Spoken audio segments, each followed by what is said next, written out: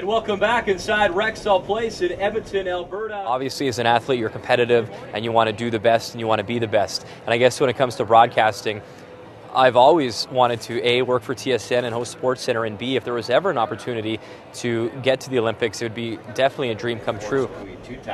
I mean, working with Russ Howard is incredible because he's so uh, gifted when it comes to knowledge of the game and seeing things and knowing things that you would never know. And even I consider myself, you know, a pretty good curler and know the game well. And he always is teaching me new things about the game that I would never have guessed. And that's the pleasure of working with him. I grew up in a small town called Boyle, Alberta, just north of Edmonton. And my dad put me in curling. In small towns, there's not a lot to do, obviously. So my dad put me in curling when I was about nine years old. Uh, and I loved the game. And I, I continued to play uh, right up through high school. And uh, we'd always go in the uh, high school playdowns. And then uh, when I got to college and I went to NAIT, I you know talked to Jules and said I was interested in getting on the curling team, and I managed to make that team. And Jules is just great. You know, I remember uh, him as a coach. He's a pretty laid back guy, very knowledgeable, and and getting to see him now on my broadcasting side of things, it's always fun to come talk to him. And I actually did a piece.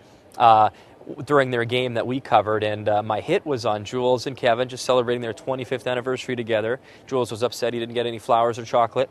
Um, but they've been together a long, long time, and I guess the NAIT connection is, is really neat. I, I did some counting one day, and I think I had about 60, 69 of my kids had been in provincial playoffs, and, and like and Kevin had gone to the Worlds and the Olympics, and so every time I go to a spiel, it's nice because I either like in this case see Bryan, but most of the time to see curlers.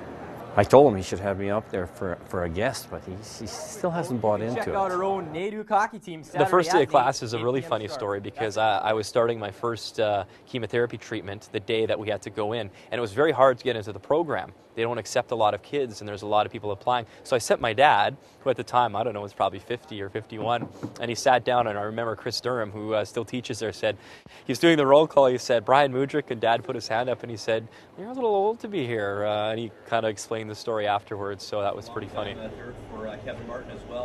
The cancer experience that I went through not once but twice, it certainly makes you realize how hard you have to push and how much you appreciate things in life. And I think going through that has made me a good broadcaster and has gotten me this far because I always pushed. I always pushed very hard. Uh, and I was pretty young when I got to TSN. I was uh, 27. It's been a pleasure having you on this Tuesday morning. Watching Canada's sports leader, TSN.